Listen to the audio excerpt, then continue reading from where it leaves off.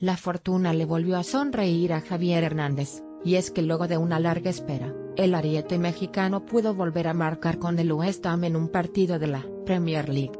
Chicharito firmó el cuarto gol del elenco Hammer frente al Burnley, sellando el triunfo de su escuadra ante un rival rocoso que pudo empatar el cotejo en un par de ocasiones. Hernández Falcázar tomó un balón afuera del área, y con un control orientado se puso frente a Juan Hart, y definió con un zurdazo al ángulo para desatar la locura en el London Stadium. El partido lo comenzó ganando el West Ham con gol de Marco Arnautovic pero se vio alcanzado con tanto del islandés Johan Gudmundsson.